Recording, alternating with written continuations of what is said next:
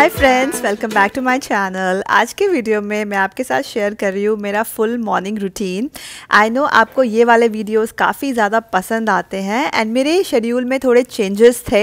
मेरी summer vacation शुरू हो गई है एंड नील ने भी समर कैंप ज्वाइन कर लिया है तो मॉर्निंग रूटीन थोड़ा चेंज हुआ तो मैंने सोचा अपडेटेड मॉर्निंग रूटीन मैं आप लोगों के साथ शेयर करूँ.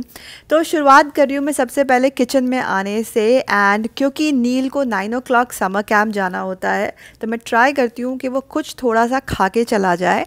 सो so, ब्रेकफास्ट के लिए मैंने आलू बॉईल करने पे रख दिए हैं आलू पराठे के लिए एंड उसको मैं लंच भी पैक करके देती हूँ। तो आज मैं आपके साथ शेयर करूँ एक बहुत ही कमाल की रेसिपी स्पेशली पिकी ईटर्स के लिए। ये है एक वेजिटेबल सॉस पास्ता घर में जो भी वेजिटेबल्स हों उनको पहले आप बॉईल कर लीजिए एंड फिर हम उनकी सॉस बनाएँगे। तो जितने हमारी सारी वेजीज़ बॉईल हो रही हैं उतने मैं आलू को छील के ग्रेट कर लूँगी।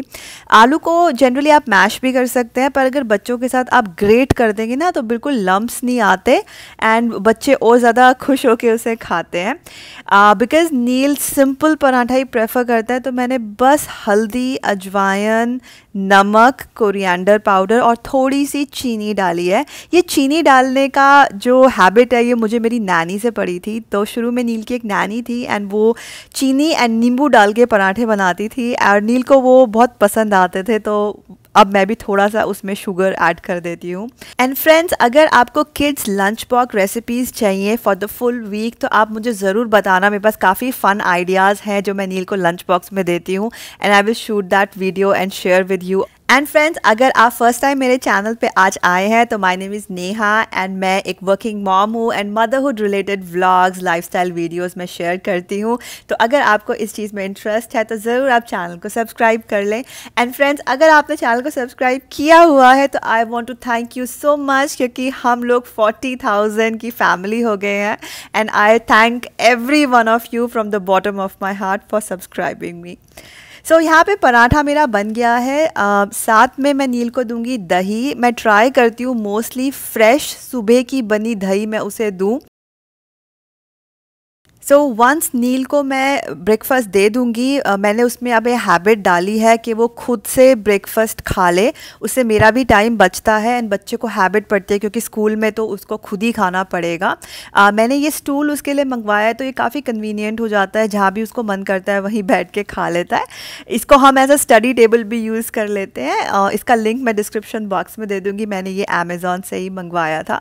तो वापस आ जाते हैं अब अपने लंच पे। तो आप देख सकते हैं सारी सब्ज़ियाँ अच्छे अच्छे से यहाँ बॉयल हो गई हैं तो थोड़ा सा ठंडे होने के बाद अब हम इनकी ना प्यूरे बना लेंगे। एक्स्ट्रा जो वेजिटेबल्स का पानी है, उसे आप हटा सकते हैं और उसे वैसे ही आप ऐसा सूप पी सकते हैं। तो यहाँ पे हमारा प्यूरे बन के रेडी हो गया है। बस जैसे टोमेटो सॉस होती है, उसको आप इससे रिप्लेस कर लेना। यहाँ पे मेरा बॉयल पास्ता है। मैंने ये ब्राउन राइस पास्ता लिया है। And friends I highly recommend कि आप मैदे के पास्ते की बजाय डिफरेंट ऑप्शन ट्राई करें। जैसे काफ़ी दाल का पास्ता आता है राइस का पास्ता आता है। These are much more healthier thicker than the मैदे वाला पास्ता। पैन में मैंने गार्लिक अनियन को सौते करके अपना पास्ता डाल दिया है एंड ऊपर से अपने फ्यूरे डाल दी है। एंड फ्रेंड्स इस स्टेज पे टेस्ट नहीं आएगा बट जब आप ऑरिगेनो ब्लैक पेपर थोड़ी सी केचप सॉल्ट डालेंगे बिलीव मी नहीं पता चलेगा कि ये अलग पास्ता है। It it is exactly like the traditional pasta ऊपर से आप चीज़ डाल सकते हैं and you can enjoy so Neel को मैं देती हूँ ये टिफ़िन बॉक्स में. सो दिस इज़ इंसुलेटेड इसमें जो पास्ता है वो काफ़ी टाइम तक थोड़ा गर्म रहेगा. पास्ता के अलावा मैं नील को आज एक बनाना और स्नैक्स में वेजी स्ट्रॉस एंड बिस्किट दे रही हूँ. एंड फ्रेंड्स एक बार नील को ब्रेकफास्ट देने के एंड लंच पैक करने के बाद थोड़ा सा टाइम मेरे पास होता है. हालाँकि मैं समर वेकेशन पे हूँ बट फिर भी आई ट्राई कि सुबह मैं एक बार ईमेल चेक कर लूँ कोई एडमिन काम वगैरह ना आया हो. And friends let me take this occasion and introduce you to Planet Study अगर आपका बच्चा सिक्स से ट्वेल्थ क्लास में है एंड कंफ्यूज है कि आगे जाके उसे कौन सी करियर स्ट्रीम लेनी है P C M PCM PCB commerce humanity then Planet Study which is a career counselling website can really help you and your kid decide the right path so friends Planet Study एक career counselling website है and होता है ना जब हम लोग बीमार होते हैं तो डॉक्टर के पास जाते हैं, जब हम लोगों को घर बनाना होता है तो किसी आर्किटेक्ट के पास जाते हैं।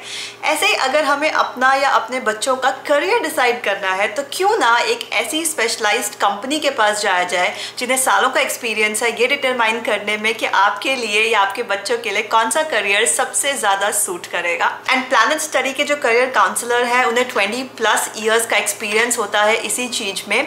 वो लोग आपको एक असेसमेंट देते हैं टेस्ट नहीं असेसमेंट उसके बेसिस पे वो लोग इवेलुएट करते हैं कि कौन सा करियर आपके लिए सबसे ज़्यादा सूट करेगा। प्लानट स्टडी का जो प्राइस है that's very reasonable they charge 2999 for all classes and friends as parents हम अपने बच्चों में कितना इन्वेस्ट करते हैं? उनके क्लोथ्स में टॉयज में क्लासेस में एक्स्ट्रा करिकुलर एक्टिविटीज़ में. सो so, क्यों ना एक थोड़ा सा और अमाउंट दे के हम उन्हें राइट right गाइडेंस कर सके उनके करियर के लिए भी. एंड फ्रेंड्स प्लान स्टडी का लिंक मैं आपको डिस्क्रिप्शन बॉक्स में दे दूँगी if you want to check it out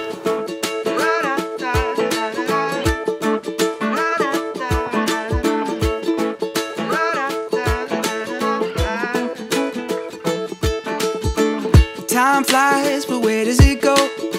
By your side, I don't need to know. If you're mine, don't care what tomorrow holds. Just live in the moment with me.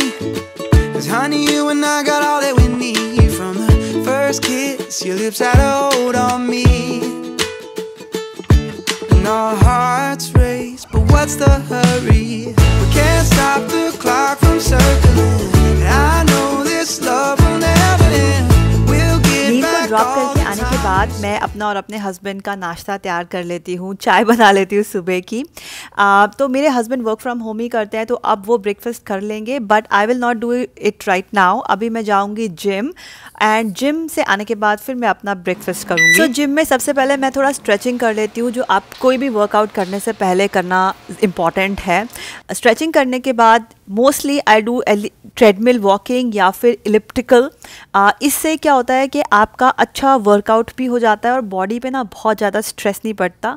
अगर आपको भी thyroid की problem है ना मेरी जैसी तो ऐसा वर्कआउट ना करें जिससे बॉडी पे बहुत ज़्यादा स्ट्रेस पड़े। थोड़ा लाइट वर्कआउट करना ही सही रहता है। एंड फ्रेंड्स काफ़ी लोग पूछते हैं टमी फैट कैसे कम करें आफ्टर प्रेगनेंसी तो मैं आपको क्या बताऊँ like I don't have a flat tummy कुछ ऐसी एक्सरसाइज जहाँ पे आपकी एब्डोमिनल मसल्स यूज़ हो, जैसे रोइंग करना इवन इलिप्टिकल करना, उससे थोड़ा सा फ़र्क पड़ सकता है। And finally I have my tea and enjoy my breakfast so guys इसके साथ करती हूँ वीडियो को ख़त्म। आई होप आपको वीडियो अच्छी लगी हो। Will see you next time bye